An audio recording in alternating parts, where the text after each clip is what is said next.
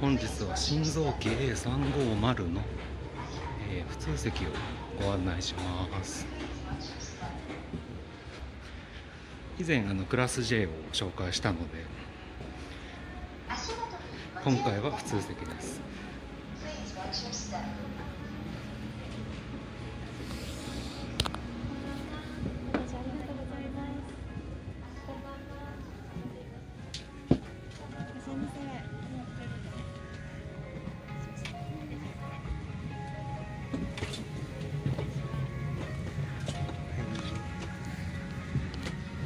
こちらが普通席になります。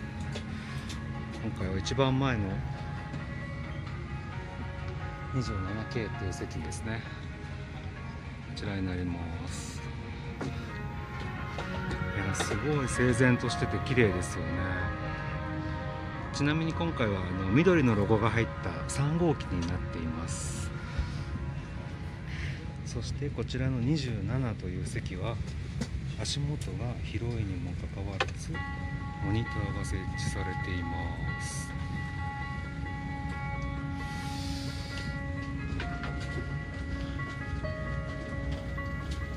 あのウイングがおなじみですよね。はい座ってみました、まあ、この 27K という席はですね、まあ、K でも A でもいいんですけどまあ、350ではですね唯一普通席でこのように足が伸ばせる。そしてモニターも見れる。離着陸時も含めてモニターが視聴できる。まあ普通席の中では最高の席だと思います。この最前列が非常におすすめです。もう私足短い。いや短くはないかもしれないですが普通なんですがもう届かないぐらいに、まあ、伸ばせると。という快適性がありますので。ぜひ皆さんも A350 日本航空の A350 ご利用の際は27という席こちらをおすすめします。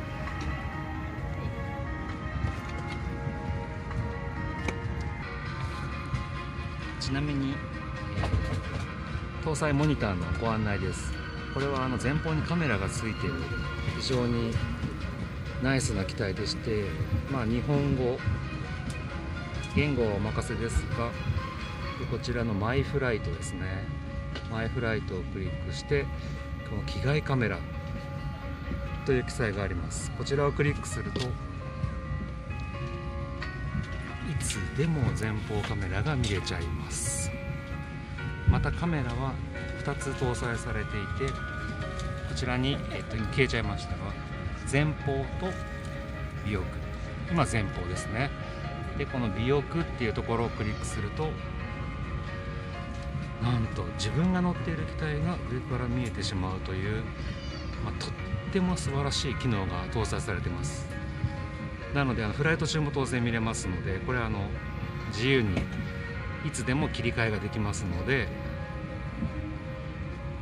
もうまあ乗ってる最中暇がないといいますかね退屈しないという機材になっておりますので今あの確か札幌福岡那覇に就航していますのでそのいずれかにご旅行の際はぜひ A350 日でも、まあ、各路線23往復しかしてないのであの数は少ないんですけども350をですねご利用いただくといいと思います。ちなみに A350 は新鋭機最新鋭機ではありますが787のような、えーシェード電子シェードではなくて、まあこのような物理シェードになっています。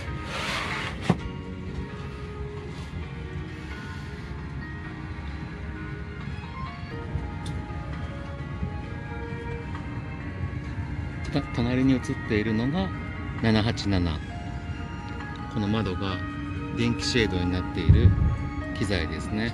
でこちらが350この350の特徴的なウィングレット。先っちょがひん曲がっていて赤くペイントされているのが特徴です。非常に綺麗ですよね。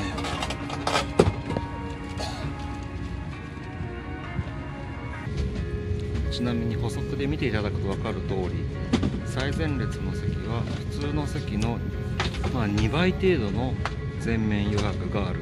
足元が広いということがお分かりいただけると思います、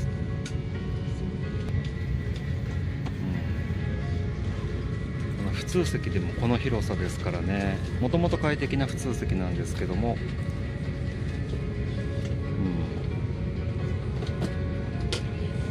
うん。間違いなくさらに快適に過ごせると思います。